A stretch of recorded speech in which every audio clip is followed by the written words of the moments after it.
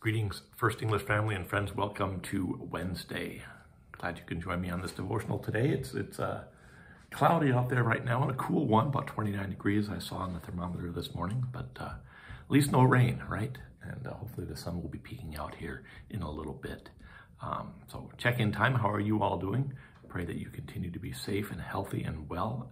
Um, we're in the midst of a oh, quite a surge here in Marathon County in Wisconsin. So um, please, please uh, um, be safe. Take all those precautions that I'll, remind you of at the end, end of this devotional. Um, leave a question or a comment below if you have one. I do have my coffee here, some more Pastor John's Blessed Beans in my Al's Breakfast mug. So cheers, church. And our devotion for today comes from Christ in Our Home, written by Bethany Ringdahl from St. Paul, Minnesota, where she lives with her sweet husband and sweet baby. She is the mission developer of Hostel for Seeking Souls, a new church for people who are eager to improve our country's immigration system. And they are praying about providing short-term housing for asylum seekers. And our scripture reading for today is Matthew 24, verses 29 to 35. Matthew 24, 29 to 35. And Jesus is talking here. And I believe he's in the temple. Uh, this is Holy Week, too. A couple days before, I think this is Tuesday of Holy Week. Immediately after, after the suffering of those days, the sun will be darkened, and the moon will not give its light. The stars will fall from heaven, and the powers of heaven will be shaken. Then the sign of the Son of Man will appear in the heaven. And then all the tribes of the earth will mourn, and they will see the Son of Man coming on the clouds of heaven with power and great glory. And he will send out his angels with a loud trumpet call, and they will gather his elect from the four winds, from one end of heaven to the other. From the fig tree, learn its lesson. As soon as its branches become tender and it puts forth leaves, you know that summer is near.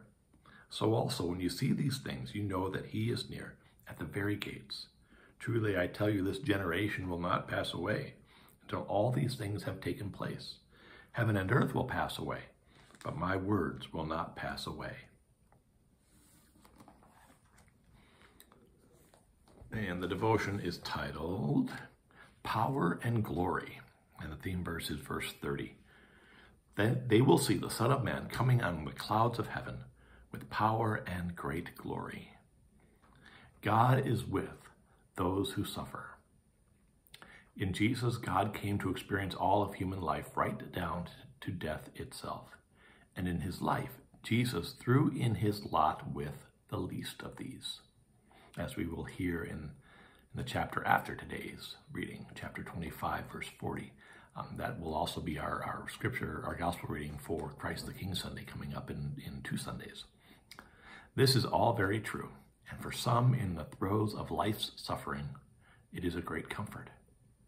For others, though, it doesn't feel like much help to think of God just being with them in their suffering. Today's passage is for those folks. Jesus describes a period of great struggle. Everything we trust will be shaken, including the sun and moon. And then the Son of Man will come with power and great glory. The Greek word translated here as power means action. Jesus doesn't just come to be with us, he comes to take action, to bring whole to bring the whole suffering world from death into new life. The kingdom of God is at hand and it is glorious and we are invited to participate. Now that's good news. Hmm. Jesus comes to bring a struggling world bring the whole suffering world from death into new life. Yeah, right? That's very true.